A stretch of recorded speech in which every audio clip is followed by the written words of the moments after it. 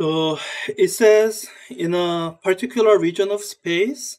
So it's giving us uh, uh, some electric potential as a function of coordinates x, y, and z. Okay. Um, and then it says, asks, what is the electric field in the region? Hmm. Presumably as a function of x, y, and z. And it's asking. Now, as you're looking at it, if you feel a bit lost, that's fine. Uh, there isn't going to be any electric field formulas that you can look up. And um, there isn't even a charge distribution that you can, um, you know, you can apply some of the methods uh, you learned in the text in in the lecture to um, use. And it's because this question is meant to teach you one very specific um, definition, or rather, uh, since you should have learned the definition already, teach you the application of that definition. So let me give you a quick reminder of the definition that whose knowledge will help you do this question.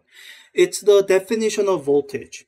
When we define the voltage, or more specifically, voltage difference from point A to B, it was defined in this way. It was um, defined through a line integral, an electric field dot product with a line element.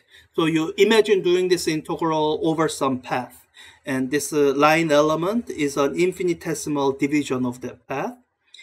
You um, and I almost always forget this minus sign. There's a minus sign there for some reason. And you integrate this from point A to point B. And that is how we define ele uh, electric potential in terms of this fundamental quantity of electric field.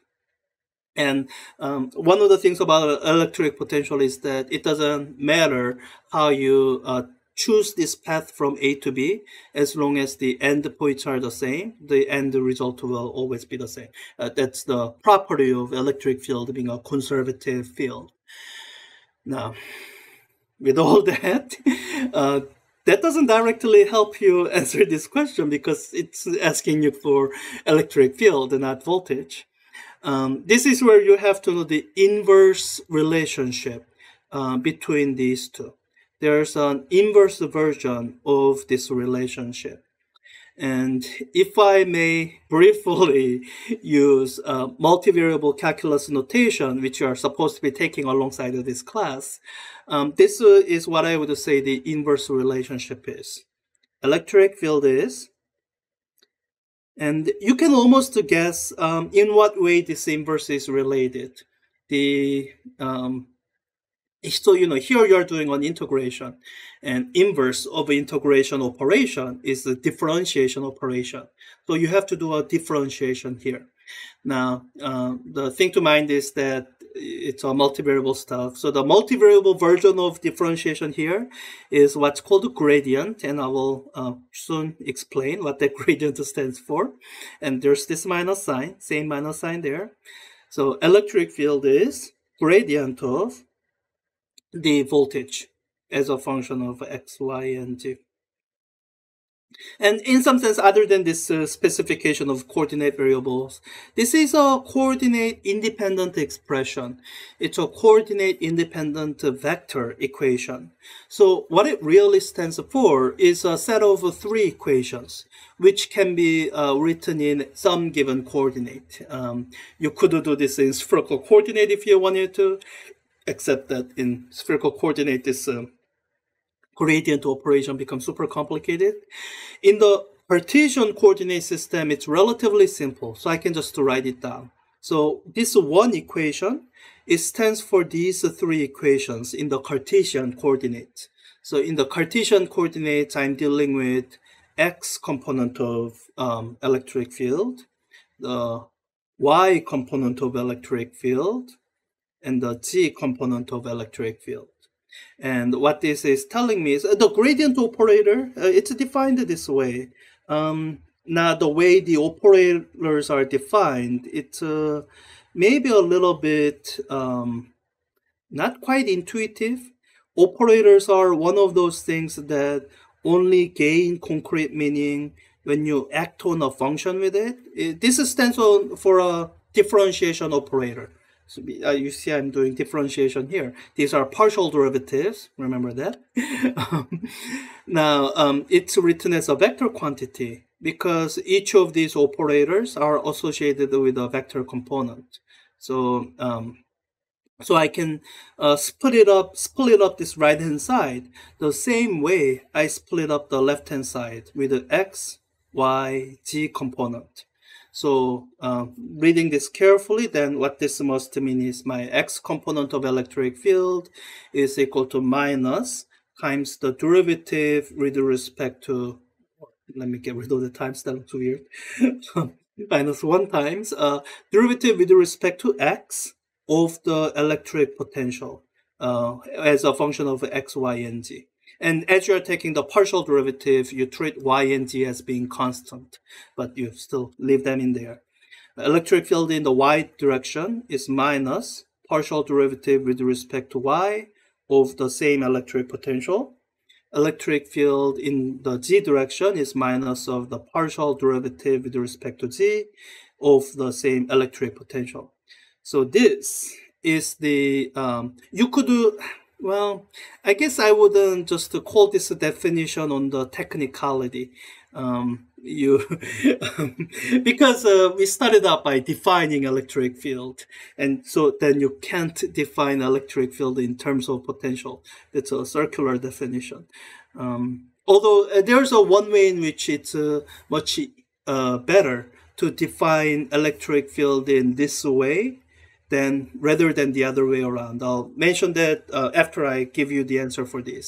So with this knowledge in hand, this is actually pretty easy question to answer then. It's basically a differentiation question. You take this expression here, take the derivatives with respect to uh, x, y, and z, and put them in right there. So uh, let me take the derivative with respect to x. That will give me my x component and not forget the minus sign, then I think I can just do this in my head. It's gonna be minus 8 x y z squared. Uh, these are being treated as constant minus um, uh, plus. I have the minus sign from before, uh, multiplying to that. Um, 5 times 2, so 10xy. That's going to be my x component. Let me do my y component. Uh, y has um, it's a linear factor, so it's gonna be minus, not forgetting the minus sign, 4x squared, z squared, my plus with one additional minus sign, uh, 5x squared, and the z component. The second term has no uh, does not result in any z component, so I only have first term to worry about. It's gonna be minus 8 x squared y and then this 2 came down that's why that's 8 oh, gee. all right um that let me plug in the answers make sure that's graded as correct and then um say the piece I was gonna say minus x y g squared plus 10xy.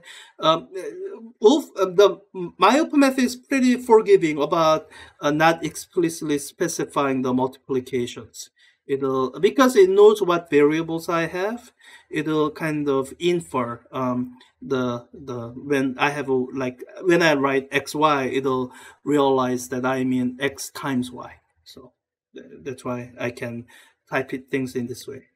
Um, sometimes in different systems you have to be more careful because in different systems they might not know how to figure out what yg is. Is it a variable yg or is it y times t? Um, so, anyways this is one of those where it, it kind of matches your expectation. So yeah, that's uh, so once you know what to do, it's a pretty simple question. And what I want you to end the coverage of this question by uh, with the saying is um, so I was saying that uh, this uh, way of specifying electric field is almost more convenient. And there's a reason for that. So in this question, you saw them do this. They just basically gave you an arbitrary voltage or arbitrary function as a voltage and then asked you to find the electric field.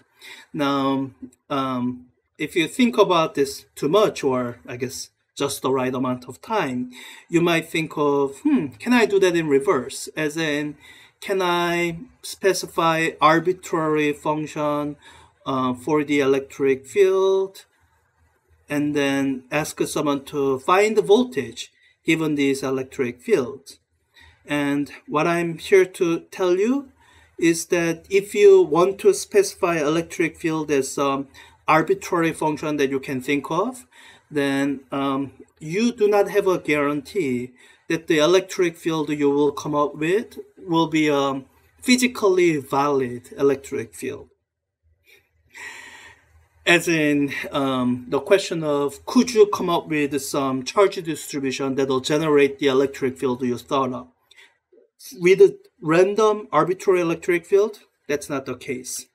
With voltage, uh, this is uh, uh, guaranteed to be valid. As in, you can think of some charge distribution that will generate this exact voltage.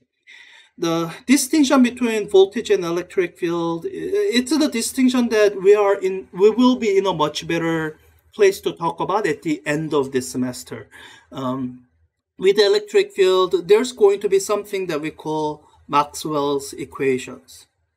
And what Maxwell's equations amount to is they are constraining equations for electric and magnetic fields.